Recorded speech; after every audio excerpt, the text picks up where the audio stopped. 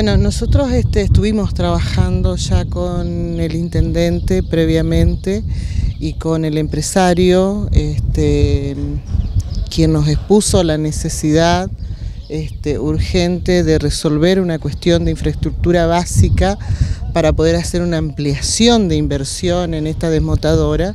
Su objetivo es ir por una deslintadora, pero este, está con una dificultad en la energía, porque por el momento este, su energía es energía rural y necesita que este, logremos con SECHEP tener su, línea. ¿no?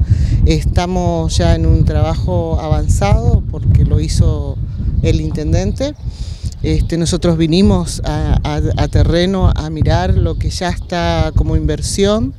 Eh, seguramente vamos a ser los voceros para, para seguir la gestión este, ante quien corresponda y que logremos que este empresario de la vecina provincia de Santiago del Estero pueda seguir este, invirtiendo en, la ciudad de, Hermoso Campo, que es cabecera de, un departamento este, y un polo de desarrollo muy importante para nuestra provincia del Chaco en el sudoeste. ¿no?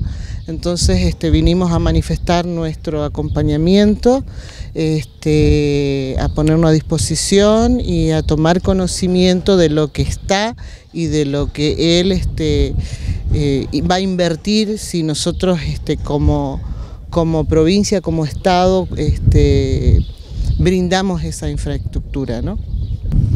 Sí, bueno, hoy tenemos la suerte de, que nos están visitando legisladores de nuestra provincia y le estamos mostrando un poco qué es lo que estamos haciendo, eh, algunas problemáticas que estamos teniendo para poder este, cumplir con nuestro objetivo que es la producción de fibra de algodón.